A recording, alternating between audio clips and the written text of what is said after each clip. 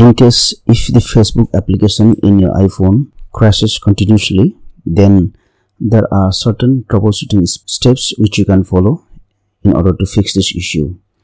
Now the first thing what you can do is restart your iphone. Many of the issues can be solved by just restarting your iphone.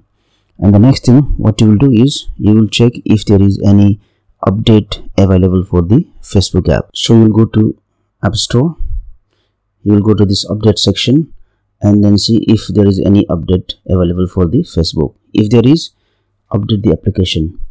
Now the other thing what you will do is you'll go to settings you'll go to general then go to software update and also check if there is any update available for your iOS version. So update the software of the iPhone also. Then the other thing what you will do is you'll go to settings you will go to general you'll go to iphone storage and then you need to check here how much of space is free.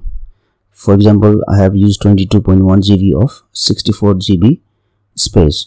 So make sure that you have enough space so that facebook can run properly. If not delete the applications or delete the data which you don't need and then make some space so that facebook can run properly Thank you for watching this video. Please like and share this video if you found it helpful. Also click on the subscribe button and hit on the bell icon to get the notification of our latest videos for free.